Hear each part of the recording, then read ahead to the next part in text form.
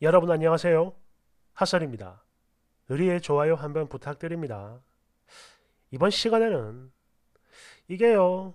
이 정도면 믿지도 않는데 예수님이 구해주려고 일부러 이러는 건가? 어, 이런 의문이 드는 그런 사연 가지고 왔습니다. 그럼 봅시다. 제목 본인 교회 안 따라오면 나 말고 믿음이 있는 딴 며느리 데려온다는 미친 시무. 아니 저기요. 나 아직 혼인 신고 안 했어요. 원제. 교회 안 나갈 거면 다른 며느리를 알아보겠답니다. 방금 제목에 쓴 교회 안 나갈 거면 다른 며느리 알아보겠다. 이 말은요, 저희 시모라는 사람이 저한테 직접 대놓고 한 말입니다. 사실 제가 아직 결혼식을 안 올렸고 이 사람이 예비 시모였다면 그냥 바로 헤어졌지. 이런 그지 같은 고민 자체를 안 했을 거라고요. 하지만 너무나 허무하게도 두 달 전에 식을 올렸고 그래서 미우나 고우나 우리 두 사람은 이미 고부 관계라는 거죠. 솔직히 말하면 결혼하기 전에 즉 연애 때부터 저는 이미 남편의 집안이 대대로 기독교인인 걸 알고 있었어요. 그리고 시부모의 경우 매주 정말 열심히 나가는 것도 이미 다 알고 있었습니다. 근데 걱정을 했죠. 저도 그렇고 제 주변 사람들도 모두 우려를 했어요. 그런데 저한테 종교 강요를 전혀 진짜 티끌만큼도 안 하더라고요. 인사를 하고 나서 거의 1년을 더 알고 지냈는데 단 한 번도 교회 가서 소리를 안 했어요. 남편도 물론이고요. 그래서 저는 아, 이 사람들은 좀 다르구나 이래가지고 크게 걱정을 하지 않았습니다. 아니 오히려 처음에 색안경을 꼈던 저 자신을 반성했었죠. 뭐 다들 대충 눈치를 채셨겠지만 저는 무교입니다. 굳이 따지자면 저희 집안은 불교 쪽에 가깝지만 지난 30년 넘게 살아오면서 절에 가본 거 한 두어 번 되려나? 너무 심심해서 엄마 따라간 게 전부였어요. 엄마가 오란 것도 아니야. 그냥 따라간 거였어요. 여하튼 이렇게 종교와 관련해서 언제나 늘 자유롭게 살던 사람이긴 했지만 살다가 누구나 겪을 이런저런 그런 거지 같은 여러 가지 이유로 인해서 그쪽 사람들을 좀 안 좋게 보는 경향이 있긴 했어요. 그래서 예전에 연애 초중반 때 걱정도 많이 했던 건데 뭐 아까도 말했지만 전혀 그런 낌새가 안 보여서 안심을 한 거죠. 마음을 놔버린 거예요. 그랬는데 정말 거짓말처럼 결혼식 올리고 신혼여행을 다녀온 뒷날부터 시어머니가 본격적으로 기독교를 강요했습니다. 처음에는 그냥 다른 거 없고 일요일에 주말 예배만 나랑 같이 가면 된다. 이러는데 싫다고 했죠 물론. 근데 얼마나 사람을 들들들 볶아대고 졸라대는지 그냥 눈 딱 감고 두 번 따라갔는데요. 야 이게요. 제 마음속에 그런 믿음 같은 게 전혀 없어서 그런 건지는 모르겠는데 앉아있는 내내 너무 졸리고 딴 생각만 하게 되더라고요. 그리고 헌금통을 서로서로 자기 옆 사람한테 돌리고 있을 때 저는 그런 거 모르잖아요. 아예 준비도 안 된 상태라 아마 현금이 없었나 봅니다. 본의 아니게 그냥 바로 제 옆자리에 있는 교인한테 넘겨주는데 정말 이 순간이 너무 민망하고 불편하고 힘든 거예요. 이때 솔직한 생각이 아니 내가 무슨 죄를 지은 것도 아닌데 도대체 왜 이 시간에 여기 이러고 앉아 있어야 되는 건가? 이런 생각밖에 안 들어요. 그래서 제 생애 두 번째 예배가 끝난 뒤 바로 어머님한테 이야기를 했습니다. 어머님, 저요 이제 힘들어서 더 이상은 못 오겠어요. 이랬는데 저는 싸울 각오로 한 거거든요. 그런데 뭐야? 반응이 왜 이래? 혹시 사람 하는 말이 우습게 들리는 걸까요? 웃더라고. 제 말을 듣고 웃어요. 그러면서 아이고 처음엔 원래 누구나 다 그런 거다. 이러더니 그래 그래 예배 한두 번 가지고 바로 믿음이 생기겠냐? 어쩌고 저쩌고 나불나불 블라블라 이왕 말 나온 김에 너 이제 정식으로 교육받고 세례도 좀 받았으면 좋겠다. 이래요. 게다가 저희 신혼집에 목사님이 기도를 하러 오는 신방도 해라 이러는 거예요. 미친 거 아니야? 아니 지금 당장 예배조차도 힘들고 고통인 사람한테 정식 교육이니 세례니 거기다 집안 예배까지 하라고 와 이거 정말 미치겠는데 옆에 있는 남편은 아무런 도움이 안 되고 어쩌겠어요. 참다 참다 결국에 폭발해버렸고 제가 직접 언성을 높여 이야기했습니다. 아니 그렇게 좋은 거면 어머님이나 열심히 다니지 왜 자꾸 이렇게 싫다는 사람한테 강요를 하세요? 나 싫다고요. 나를 낳고 길러준 우리 부모님도 이런 짓은 안 합니다. 제발 부탁이니까 이제 그만 좀 하세요. 나 미치겠다고요. 이러면서 확 질렀더니 이번엔 시모 당신도 화가 단단히 났나 봐요. 얼굴이 팍 썩으면서 너 자꾸 이럴 거냐? 나한테 계속 이렇게 나올 거면 나는 너 말고 제대로 믿음 생활을 하는 다른 며느리 알아볼 거다. 이딴 거지 같은 막말까지 해요. 그러면서 네가 비록 애초에 기독교가 아니라 해도 내가 열심히 전도만 하면 신앙생활 당연히 할 줄 알았는데 그런 내 믿음을 이렇게나 나몰라라 할 줄은 몰랐다. 이건 배신이다. 아니 그러니까 제가 언제 나를 전도해 달라고 했나요? 그리고 도대체 제가 뭘 나몰라라 했다는 겁니까? 또 시모의 그런 논리라면 이런 시모의 믿음을 나몰라라 하고 배신을 한 거는 제가 아니라 당신이 믿는 그 하나님 예수님이 아닙니까? 그렇게 열심히 기도했는데 안 들어준 거 아니냐고. 결국 여기서 완전히 뒤집어졌는데 정말로 신이 저를 도와주시는 건지 아직 혼인 신고하기 전이거든요. 시기에 올렸지만 제일 중요한 혼인 신고는 안 했다 이겁니다.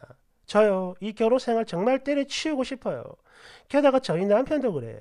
이거를 보고도 말릴 생각은 안 하고 몰라 어렸을 때부터 열심히 교회에 나갔기 때문에 그런 건지 나는 엄마의 저런 마음도 어느 정도 이해는 되거든. 자기가 괜찮으면 그냥 같이 나가면 좋고 그래도 정 안 되겠으면 뭐 안 나가도 상관은 없는데 이왕이면 이딴 답답한 소리만 합니다. 제가 바라는 거 다른 거 없어요. 오직 하나예요. 그냥 우리 두 고부간 사이에서 어? 누구 하나 선 넘지 않게 어머니만 딱 커트를 해달라 이건데 이딴 소리나 해대는 남자를 어떻게 믿고 살겠냐고요. 여쭤봅니다. 혹시 종교 문제로 결혼식까지 올린 뒤에 헤어진 분들 여기 계세요? 다시 말하지만 제가 그냥 연애하는 거라면 이런 고민도 안 해요. 정말 미치겠는데 제발 여러분 현명한 조언 부탁드립니다. 댓글 1번 아니 나는 정말 이해가 안 되네. 지금 여기서 제일 중요한 쓰니 남편 놈은 도대체 뭘 하고 있길래 쓰니 본인이 시모랑 맞짱을 뜹니까 그래?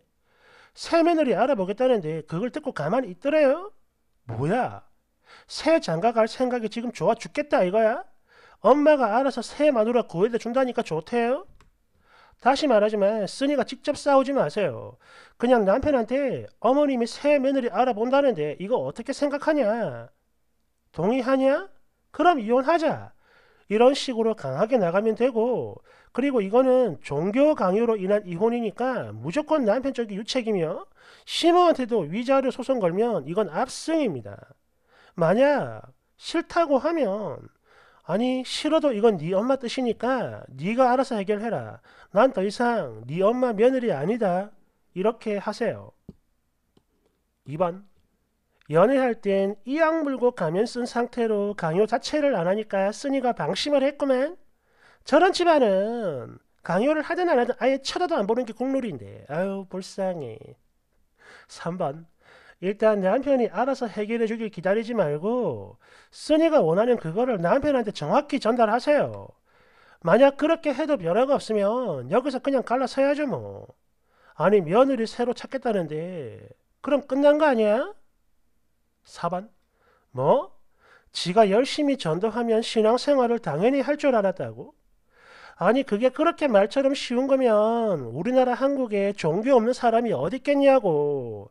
가장 확실한 전도는 내 스스로가 먼저 모범이 되는 겁니다. 내가 잘하고 또 내가 잘 되면 오지 말라고 해도 다들 알아서 다 따라와요. 아유. 5번.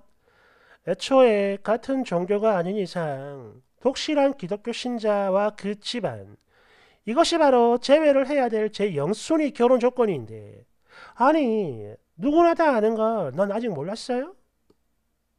6번 아니 쓰니 뭐야? 경계성 지능이야? 이런 건 그냥 처음부터 걸러야 한다고. 여기 판 아줌마들이 수천 번 이야기를 했고 또네 주변에서도 말렸다며. 그런데 이제 와가지고 뭐 어쩌라고. 그래 바로 이게 남미세들 특징이지. 기둥남, 종교, 집안 등등등. 이런 거 하나도 안 가리고 그저 남자라면 일단 무조건 만나는 거. 어, 7번 사실 교회를 안 가본 사람들은 이걸 잘 모르는데 솔직히 다단계 같은 저 전도 방식은 교회가 주는 일종의 숙제예요. 그것도 필수 숙제. 참고로 나도 10년 넘게 다니다가 이거에 질려서 나온 사람입니다. 그리고 당연히 전도를 잘하는 사람이 천국 가기 우등생이며 이와 반대로 자기 가족조차 전도 못하는 사람은 그냥 죄인이에요. 즉 저 시모 입장에서 며느리인 쓴이를 전도하지 못하면 그 즉시 바로 무능력한 낙제자가 되는 거니까 그럴 바에 차라리 너를 버리고 다른 며느리를 찾는 게 빠르다 이런 말입니다. 저거 진심이에요. 모르겠어요? 이거는 어, 네 남편이 뭐라 뭐라 해서 될 일이 아니에요. 이미 그 교회 목사나 주변 사람들이 계속 시모한테 이야기했을 거고 지금도 하고 있을 겁니다. 어서 빨리 며느리를 올바른 길로 천국으로 인도하라고. 그냥 미친 집단 그 자체일 텐데 쓰니 본인은 물론이고 아들이 나선다고 그게 뭐 바뀔 것 같아요? 어림없어요. 그러니까 내 말은 그냥 이쯤에서 빨리 매듭을 지어라 이겁니다. 8번 내 일생 동안 저런 사람 여러 봐왔고 또 그지 같은 고통도 많이 당해봤는데 그 중에서 대화가 되는 사람 진짜 단 한 명도 겪어본 적 없어요. 단 한 명도.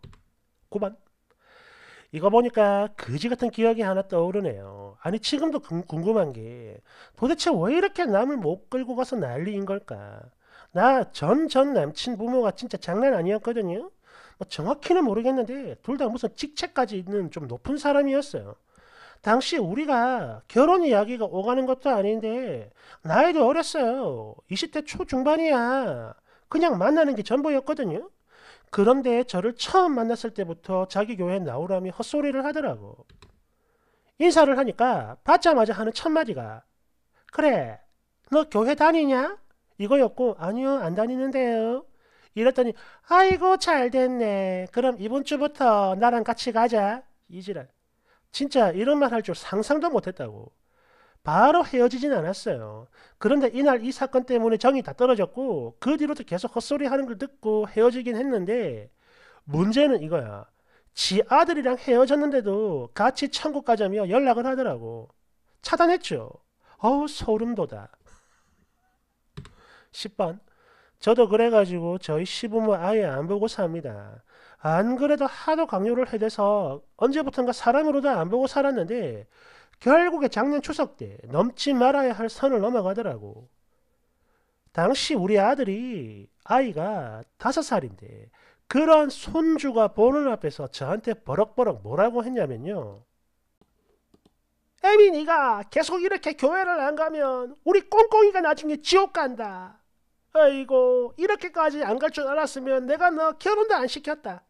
이딴 개소리 하길래 시모한테 말 안 하고 바로 옆에 있는 남편 얼굴 쳐다보면서 야 방금 어머니 말하는 거 당신도 들었지?